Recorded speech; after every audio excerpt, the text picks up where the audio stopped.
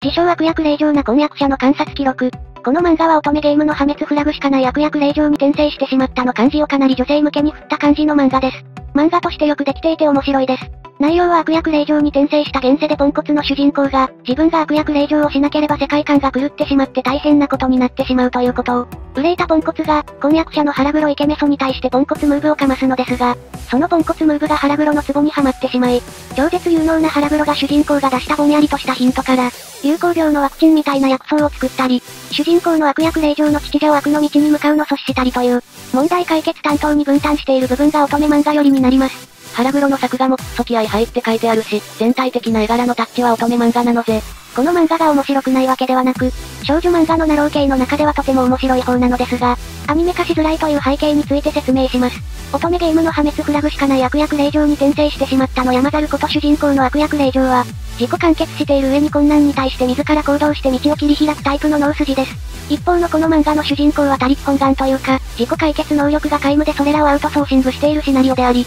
この選択がアニメ化が難しい要素です。山猿の方は男性からの共感を得やすいのぜ。一方のこの漫画の主人公は女性からしか共感を得られにくいのぜ。だからアニメ見る層のパイが半減してしまうからアニメ化が難しいという感じなのぜ。ためになった、面白かったと思ってくださったらチャンネル登